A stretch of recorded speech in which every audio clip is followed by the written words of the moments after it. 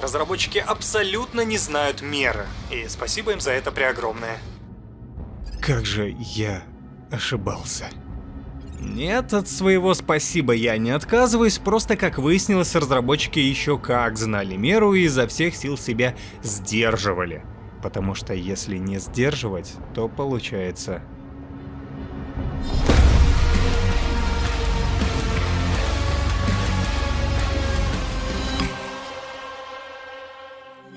Мы дождались выхода обоих дополнений, чтобы рассмотреть их целиком, и начнем по порядку.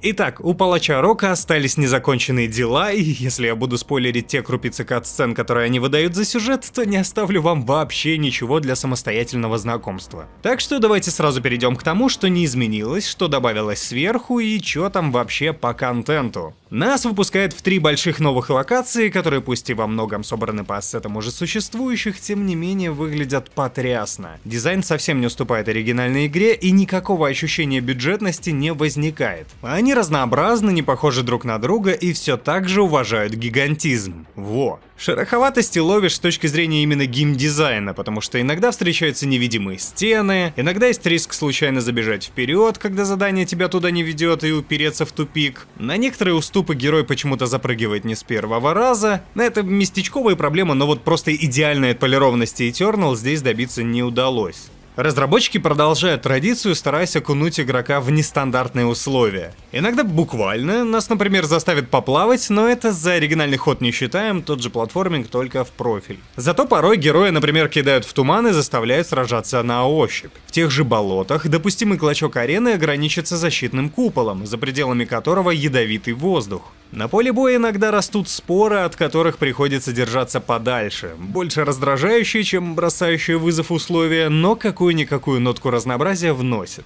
В стане врага вот тоже прибыло, правда бестиарий вырос незначительно. На подмогу силам ада бросили всего трех новых бойцов. Первый это турель, если долго в нее целиться или находиться рядом, та прячет голову в песок. Каких-то глобальных изменений в геймплей она не вносит, по ощущениям напоминает пушку Арахнатрона, которая тоже хорошо выносится прицельным снайперским выстрелом. Это понятно, это такой плавный вход в обновление, минимальное влияние на геймплей, чтобы неподготовленный игрок успел освоиться, но при этом с легким привкусом нововведений. Второй враг похож по методам выпиливания на первого, только приносит больше проблем. Это новый вид ангела, который становится уязвимым в момент мощной атаки, и который тоже умершвляется метким хедшотом. А вот третий уже гораздо сильнее тянет на себя одеяло. Дух появляется на арене в одном из демонов и значительно усиливает того, делая более живучим, мощным и быстрым. Как только вы убиваете монстра-носителя, призрак вырывается из тела и у вас есть несколько секунд, чтобы его прикончить, иначе он подберет себе новое тело.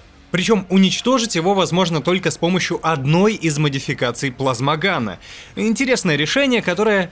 которое, пожалуй, сыграет позже. Давайте вернемся к этому потом. И вот у нас 6 часов геймплея на DLC, вот у нас всего 3 уровня. Простая математика подсказывает, что выходит по 2 часа на уровень. Ну что ж, в оригинальной миссии тоже далеко не короткие, хотя, судя по моему обзору, там от силы... Полтора часа на миссию? Ну ничего, Снайдеркат в один присест вывезли и Doom тоже перетерпим. Правда, неправда. Потому что здесь всплывает основная проблема DLC реальное отсутствие меры у разработчиков. Еще в оригинале многие сочли сомнительным затяжные сражения во второй половине игры. В Ancient Gods Part 1 не осталось никаких сомнений. Кто-то из команды явно потерял все рамки. Из привычного фанатам челленджа схватки превратились в форменное изнасилование. 15 минут на мясорубку – абсолютная норма, а если вас убьют на 14 давай по новой, Миша, все хардкор. На палача теперь вываливают какие-то едва лимитированные армии, причем не стараясь выстраивать интересные комбинации демонов, а тупо действуя по тактике забросать телами. В какой-то момент мой персонаж натурально начал застревать в появляющихся врагах, и на куче тесных арен дополнений это внезапно оказалось закономерным закономерностью, а не случайностью. Причем предельно понятен ход мысли разработчиков. Одна не в меру затяжная битва в одной локации структурно заменила нам несколько разных битв в разных локациях, с чекпоинтами между ними. Но бюджеты позволяют реализовать лишь одну большую-большую длинную-длинную арену, забить хронометраж до отвала и играющую отмахнуться от своей аудитории оправданием в главном меню. Тут, дескать, больше демонов, ведь это дополнение, ведь это для настоящих фанатов, а ты что хотел, хардкор. В итоге, вместо интенсивной смены геймплейных ситуаций и декораций, у нас начинается бесконечная джига-дрыга на одном месте. Вот вам и 6 часов геймплея на, по сути, всего трех картах. Причем разработчики пытаются компенсировать рутину, и выходит плохо, выходит нелепая градация появления врагов. Давайте объясню. Часто случается так, что сначала идет волна пушечного мяса, потом волна более раздражающих болванчиков, наконец настоящие занозы в заднице, а затем снова пушечное мясо, а затем снова средний класс. И иногда еще крутые перцы в конце. Все в рамках одной арены. Таким вот вилянием кривой сложности вроде и пытаются достичь разнообразия, но на выходе получается еще больше раздражения. И вот почему. Чтобы добраться до того этапа, на котором ты постоянно умираешь, приходится не только преодолеть очень сложных противников, но потом еще и потратить время на отстрел всякой мелочи. Опять же, Doom просто превращается в рутину. Иронично, что при всем при этом чекпоинты финального босса расставлены вполне лояльно, и в случае смерти переигрывать нужно не все 15 минут, а последние 2 или 3. Сам босс выполнен в меру изобретательно и развлекательно, и вообще свои лучшие стороны Ancient Gods Part 1 переняла у старшего брата Биш оригинала. В целом геймплей-то все еще ощущается драйвовым, только получается, что само DLC-то не состоялось. Нововведения можно пересчитать по пальцам, а недостатки Eternal не просто передались по наследству, да еще и стали гораздо более заметными. Сюда же запишем и абсолютно пустую прокачку, и бессмысленные испытания, за которые вознаграждают только новыми скинчиками, и потраченный потенциал Мика Гордона, которого заменили на дуэт Эндрю Халшалта и Дэвида Леви. В итоге музыка пусть и качает, но запоминается уже гораздо меньше. Да и в силу своей монотонности просто тонет в звуках взрывов и разлетающегося мяса. В итоге Part 1 оказалась гораздо посредственнее оригинальной игры и выезжает исключительно на достоинство Хонной. Но несколько месяцев спустя вышло продолжение.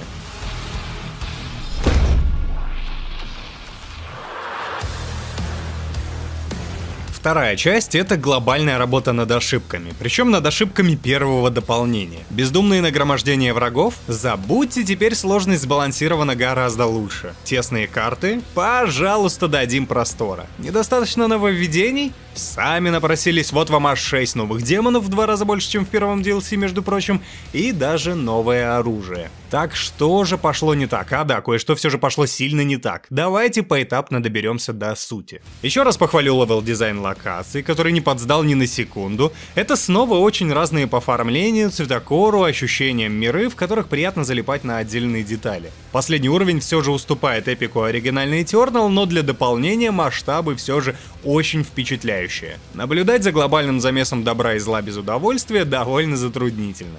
По уровням снова разбросаны испытания, теперь в них даже появился смысл, потому что скинчик дают в награду за второй раунд, а за первый апгрейдят ваше новое оружие — молот. Сам молот вышел не таким однозначным, но по мне это скорее удачное решение, нежели нет. Он оглушает врагов, он дает больше брони за подожженных и больше здоровья за замороженных демонов, что хорошо компенсирует моменты не в меру затяжных потасовок, потому что вы всегда можете почти полностью восстановить боезапас и здоровье.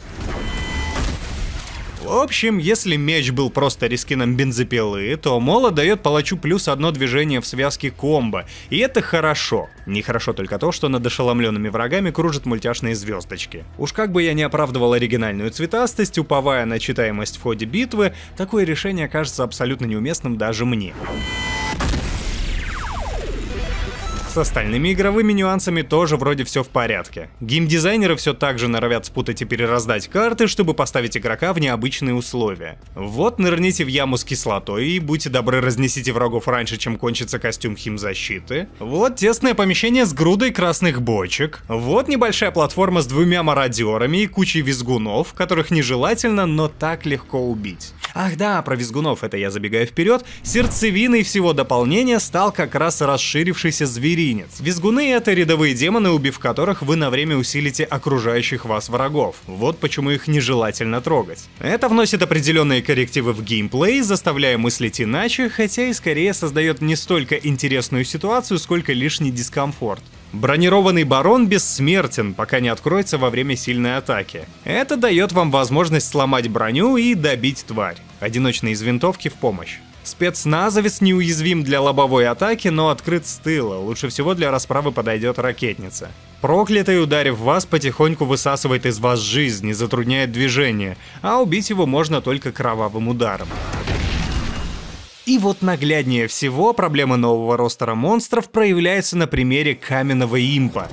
Дело даже не в том, что это подкрашенная моделька другого монстра, как и в случае с большинством новых болванчиков. Дело в том, что этого демона можно убить только дробовиком и только через определенную модификацию. То же самое было и с духом из Ancient Gods Part 1, который, впрочем, в порту тоже встречается. Тут становится понятно, каким образом кристаллизовался план разработчиков. Еще в оригинальной Eternal они старались актуализировать каждый из имеющихся стволов, чтобы ни одна пушка не пылилась в бездонных карманах Думгая. Двустволка лучше всего работает против мародеров, плазмоган сбивает щит охотника, автомат хорошо отрабатывает по пушкам Манкубаса и так далее. Уже на тот момент у игроков возникли претензии, мол, где мой старый добрый дом, где возможность стрелять из любого калибра по кому угодно, что это за принуждения такие. Только вот тогда это не было проблемой. Засунуть гранату в рот как демону, пусть и эффективное решение, но это решение игрока. А так ты хоть бы ФГ на него потрать, хоть кулаками расковыряй.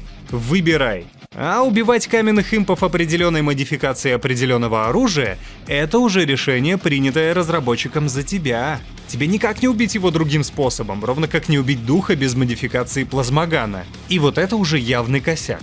Вместо того, чтобы придумать ситуации, когда одна пушка будет эффективнее другой, вам дают замочек, под который подходит лишь один ключик. Много таких замочков. И вот тут игрок, который возомнил себя палачом Рока, могущественным и бессмертным надирателем задниц, вдруг оказывается пешкой, которая ходит исключительно на клетку вперед и рубит исключительно по диагонали. Пушечного мяса по-прежнему хватает, но когда в него массово встраиваются эти мобы-пазлы, которых надо не столько раздавить, сколько разгадать, весь этот неостановимый адреналиновый флоу рассеивается.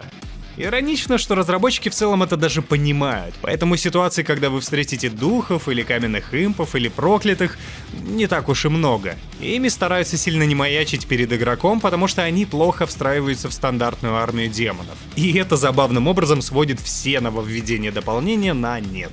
Остается только финальный босс, который частично копирует мародера и который пусть и выглядит эпично, но просто заставляет повторить несколько раз к ряду один и тот же фокус, чтобы его расковырять. Плюс еще более блеклый саундтрек, чем в предыдущий раз, каким-то образом. Плюс мультяшность с звездочками и дополнительный слой платформинга через крюк двустволки. Разработчики словно задачу перед собой поставили усилить самые спорные стороны оригинала. Плюс сюжет, который сколь вторичным бы ни был, но окончательно превращает в кашу всю вселенную вселенную Doom. Вот так в целом выглядит и играется Ancient Gods Part 2. Поправив проблемы предыдущего DLC, новая наломала своих дров и, к сожалению, упустила тот самый выверенный баланс, который был достигнут в Eternal. Это вообще общая проблема обоих DLC, которая упирается в следующий тезис. Все же меру надо знать. И оригинал ее знал, пусть и всегда ходил по краю.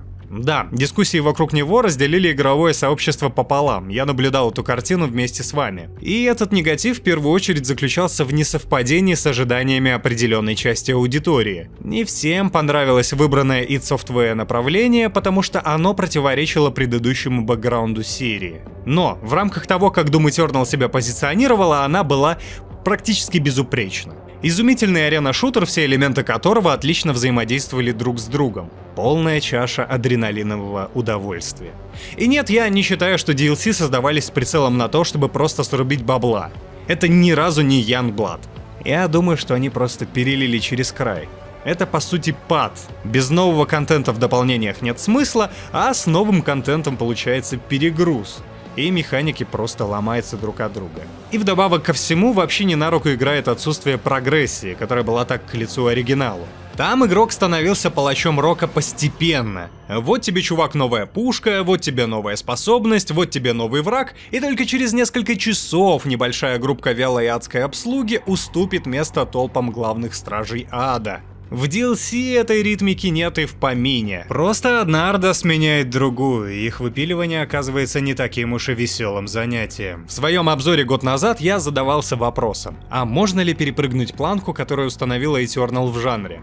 Слушайте, ну конечно да, на игре свет клином не сошелся, но перепрыгивать надо уже с нуля, а не на базе этой самой Eternal. Она, пожалуй, исчерпала себя более чем.